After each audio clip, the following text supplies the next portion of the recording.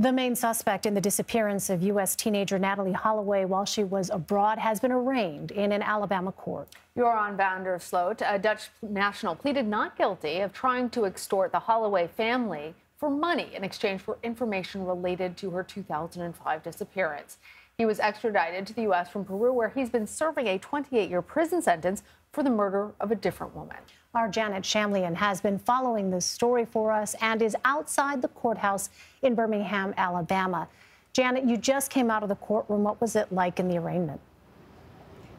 Yeah, let me give you a flavor for it. It actually ended about an hour ago now. It started at 11 o'clock Eastern. It lasted just about five minutes, but before it even started, there was a crowd of about 100 people in there. Many of them appeared to be friends of Beth Holloway's, Natalee's mother, and about a dozen of them, I was told, were people who went on the Aruba trip with mm. Natalee Holloway.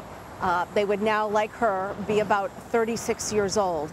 Um, Beth Holloway came in just before court started. She was with a number of family members. Uh, she was stoic. She sat down um, and awaited for this to start. And then before the judge came in, Joran van der Sloot um, was brought in, and he was wearing a white T-shirt and jeans and um, he uh, sat down at, and a, a, court clerk started addressing him and said, um, you know, we've got this translator for you who can talk to you, and uh, put gave him an earpiece, which Joran put into his ear. Um, and he said, look, I, I speak perfect English. I really don't need this. The court clerk said to him, let's wait till the judge comes in so we can get this on the record. A few minutes later, the judge came in and um, Sorry, I've got some background noise here.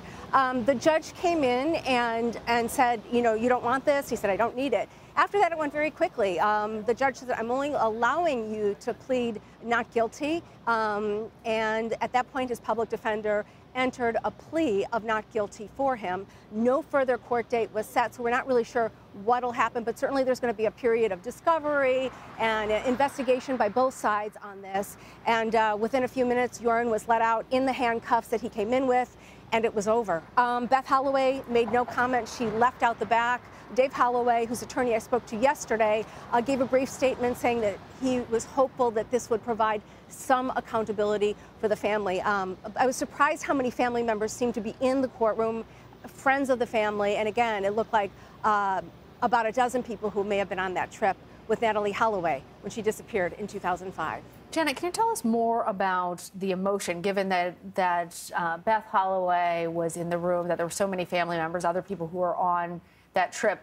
Uh, and and in, in telling us about the emotion in the room, remind us about the charges that van der Sloot is facing right now, because it's not for Holloway's murder, it's actually for what he did afterwards.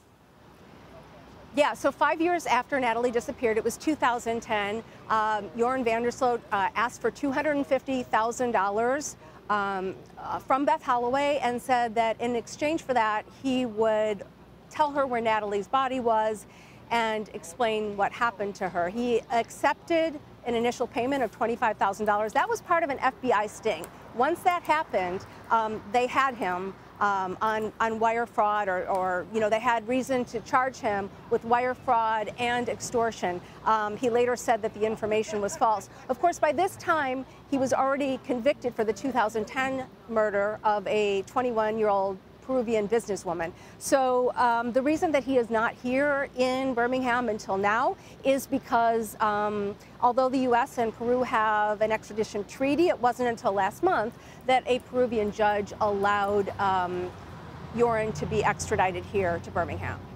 All right, Janet, uh, thanks for sticking with us despite all those audio problems. Uh, really know that a lot of people are very invested in this case. Appreciate you.